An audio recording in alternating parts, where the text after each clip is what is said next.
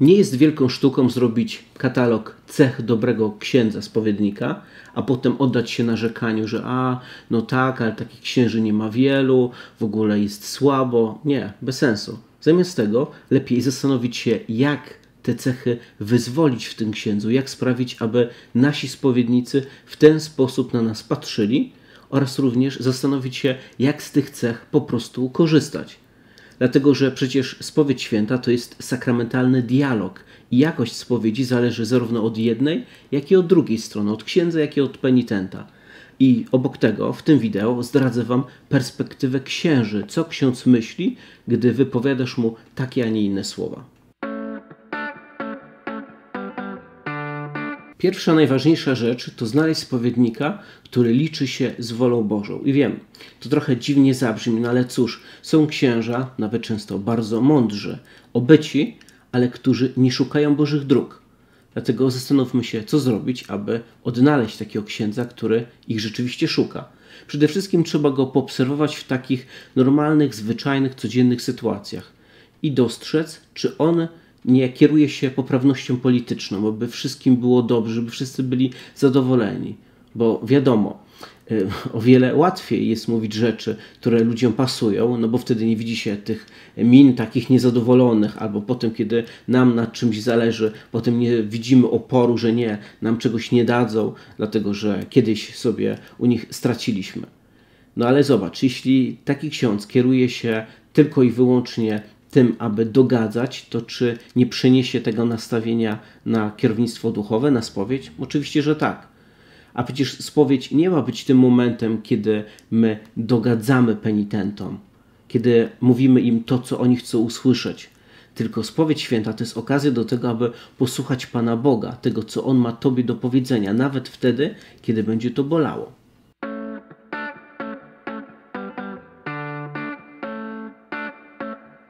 Wiele osób mówi, że nie lubi cukierkowatych spowiedzi, bo oczekuje mocnego słowa, czegoś konkretnego, co zatrzyma, zastanowi, co wzbudzi emocje, chociażby oburzenia.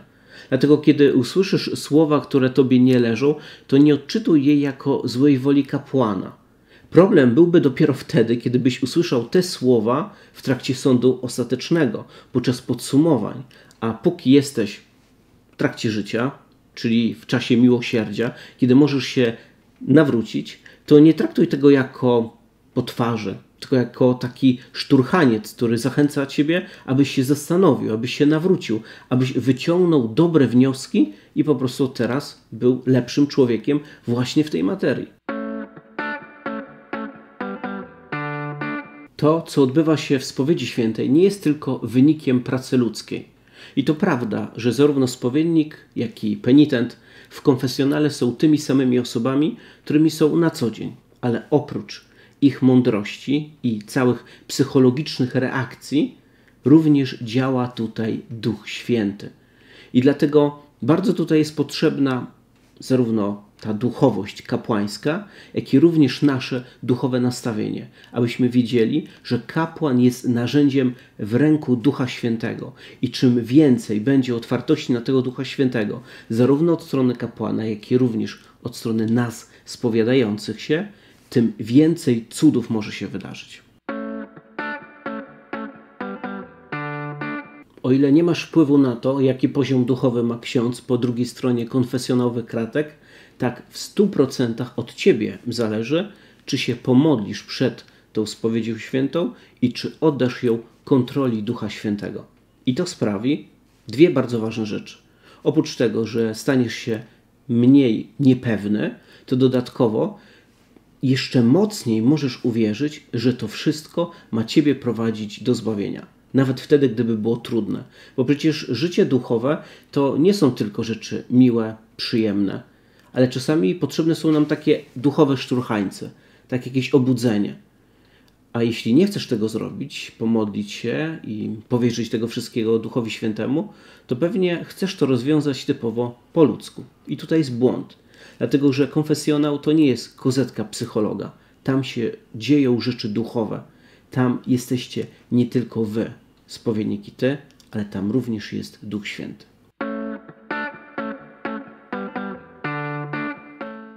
Tak jak w wielu różnych życiowych sytuacjach, różnie to bywa. Miałem przeróżne spowiedzi, takich penitentów, którzy chcieli ze mną rozmawiać, jak i tacy, którzy mieli ogromne problemy, opory. Ba, nawet powiem, że są takie osoby, które raz chcą rozbudowanych spowiedzi, a raz chcą tylko skrótowo wymienić swoje grzechy i abym udzielił im rozgrzeszenia. No i powiem Wam szczerze, ciężko jest się wstrzelić. No, chciałbym być świętym ojcem Pio i móc czytać w duszach ludzkich, ale niestety tym świętym ojcem Pio nie jestem. Dlatego trzeba po prostu o tym powiedzieć.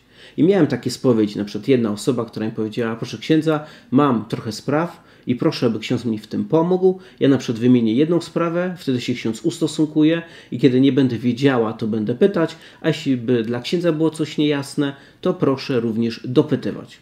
No i jasna sprawa, a nie tak, że ja wypowiadam, y, angażuję się i tylko słyszę jakieś wzdechy albo milczenie i co ja bym nie powiedział, to po prostu cisza.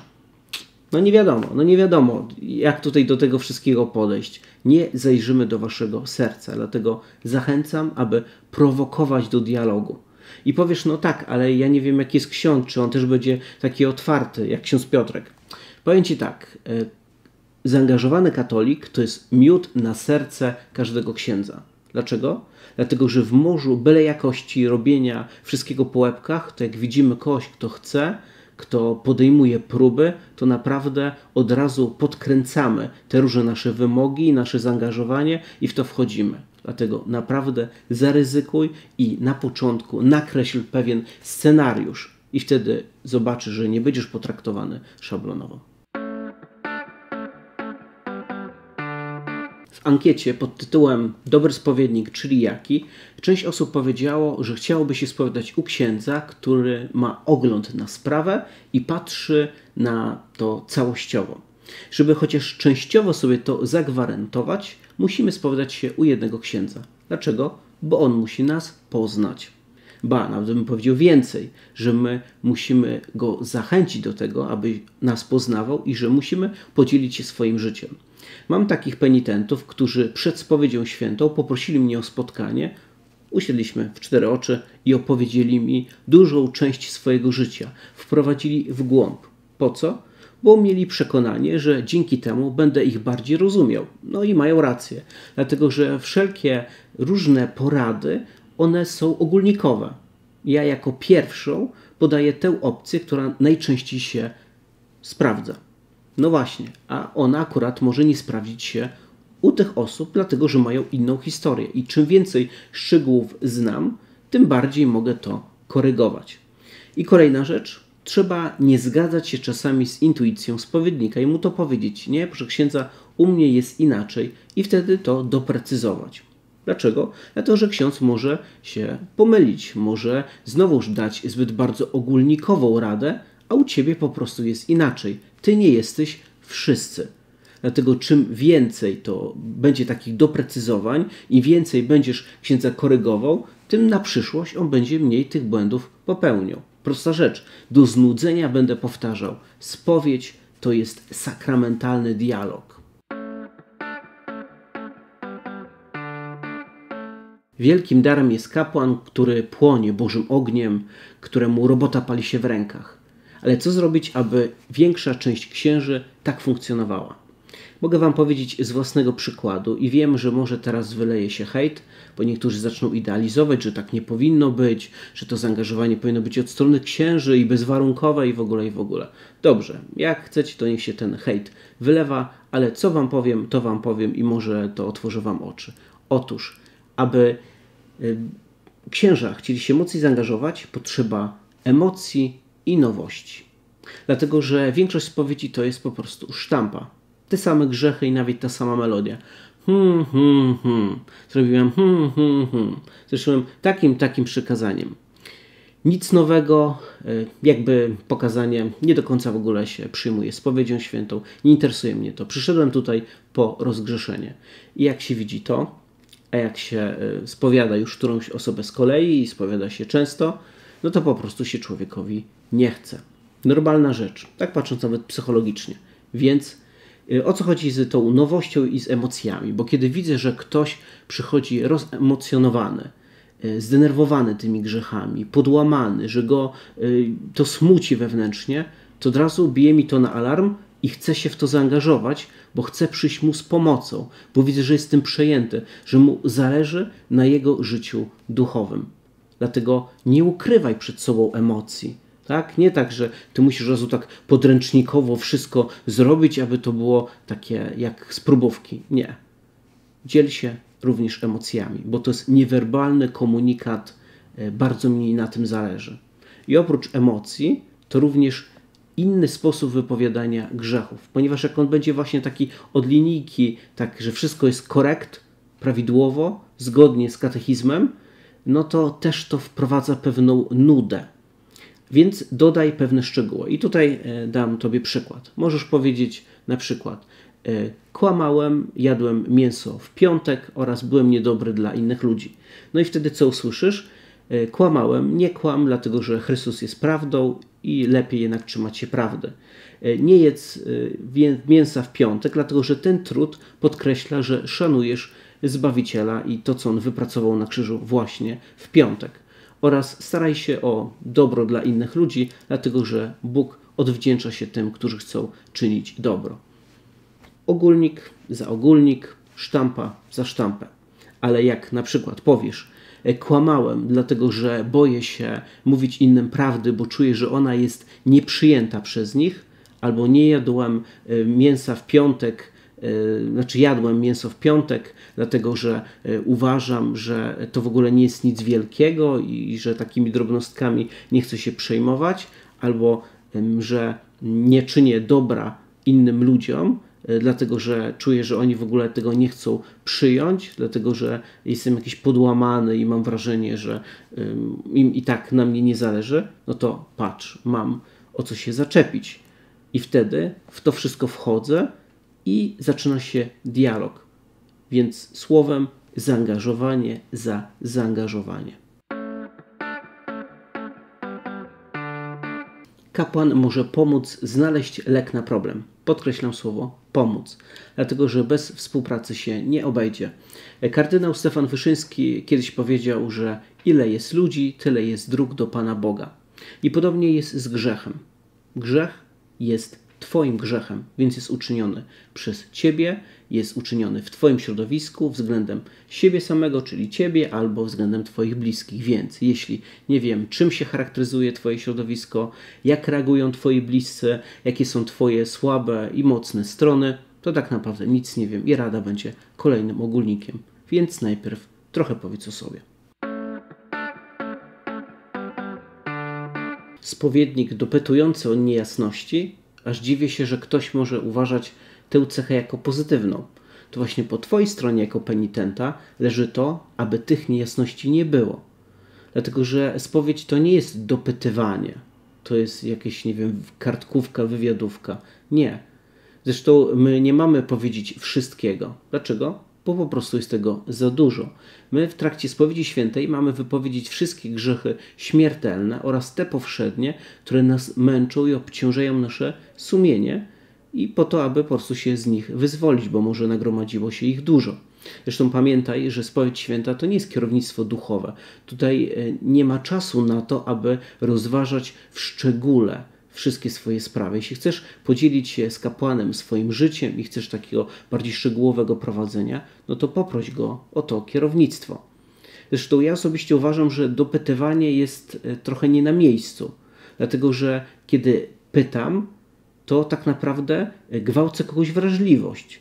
Ja wsłuchuję się w to, co on mi mówi, i to jest dla mnie pewnym świadectwem jego poziomu duchowego, i staram się w ramach tego e, poruszać ja dopytuję tylko w wyjątkowych sytuacjach, kiedy na przykład słyszę, że między wierszami ktoś powiedział o jakimś grzechu, który może być śmiertelny e, i chce go ochronić przed świętokradzką spowiedzią. To wtedy tak, ale to są naprawdę wyjątki. To prawda, że w konfesjonale dochodzi do wielu przykrych słów dlatego że tam mówimy o grzechach, a nie o naszych duchowych sukcesach. O tym, że opadliśmy, że nam się nie udało, że mieliśmy jakieś zamierzenia, a jednak nie zostały one zrealizowane.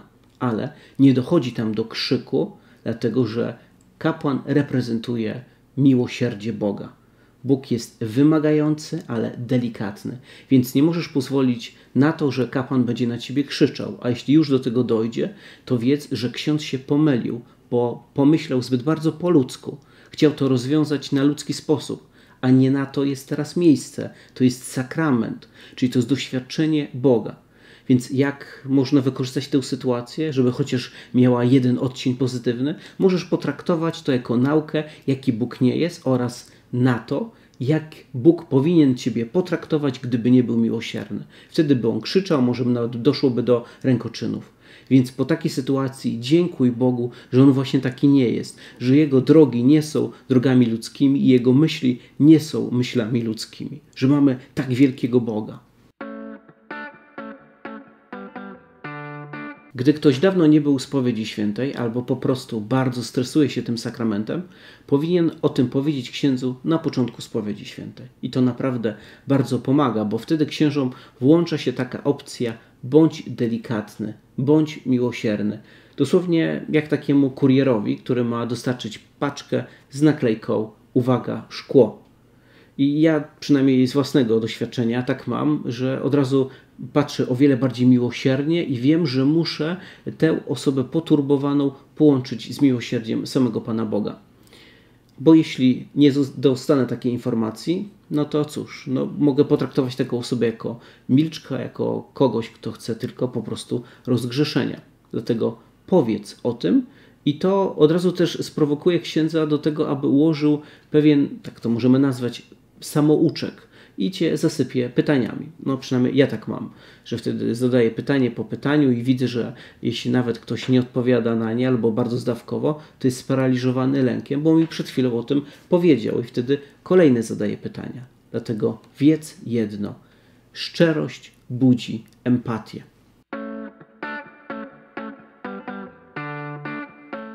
Formacja seminaryjna, studia teologiczne, język dokumentów kościelnych naprawdę robią swoje i każdy ksiądz, który chce się normalnie wysławiać, musi przykładać z teologicznego na nasze.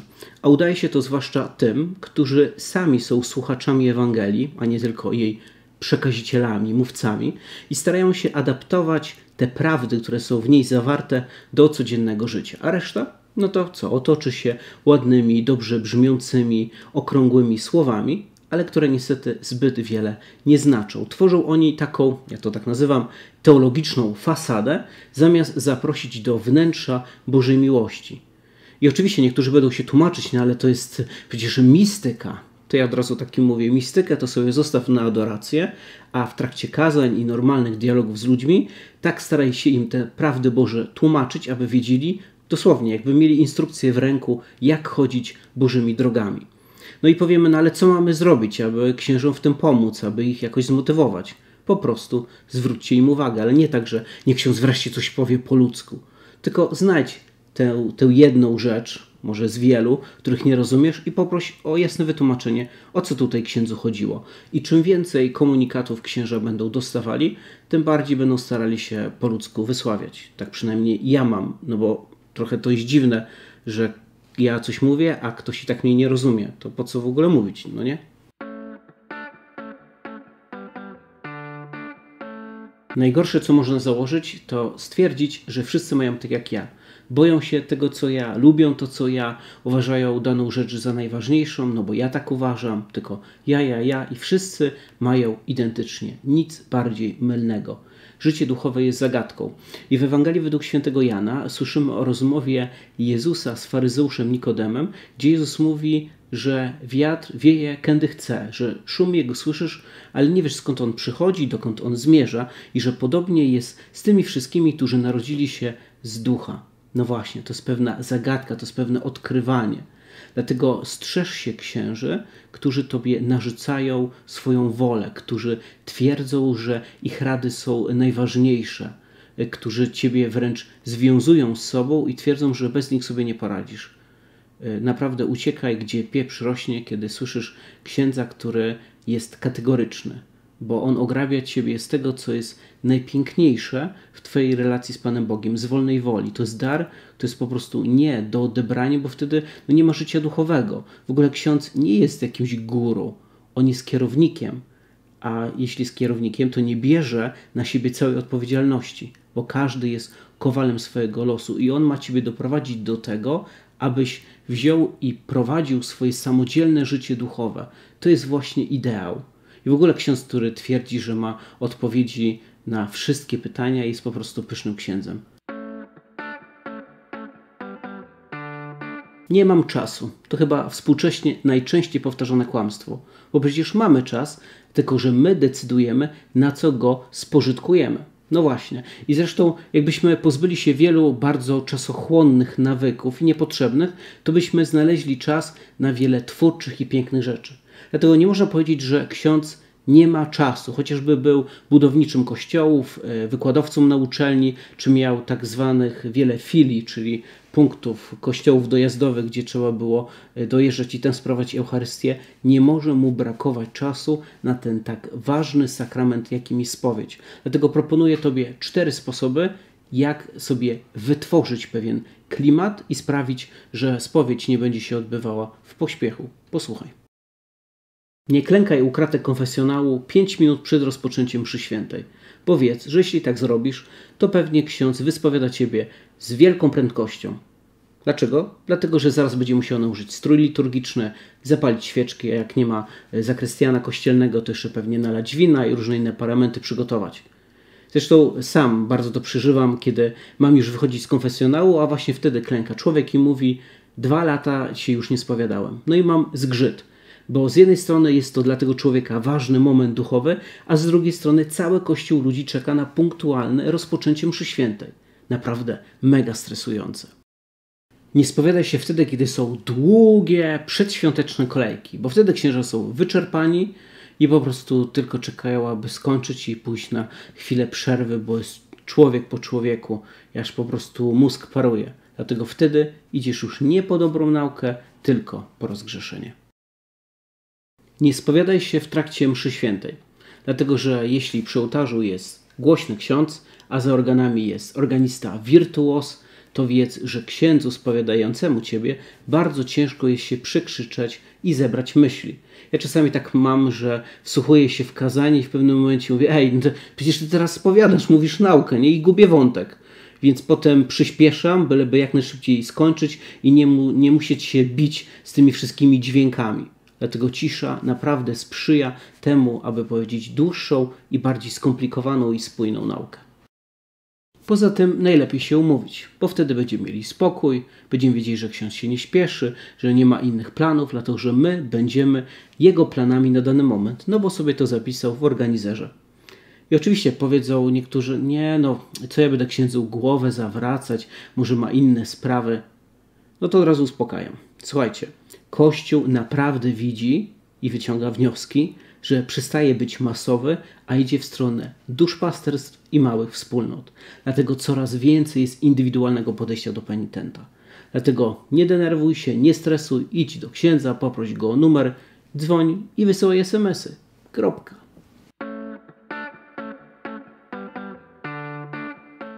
Kiedy słyszę, ksiądz powinien budzić zaufanie, to chcę mi się śmiać. Naprawdę.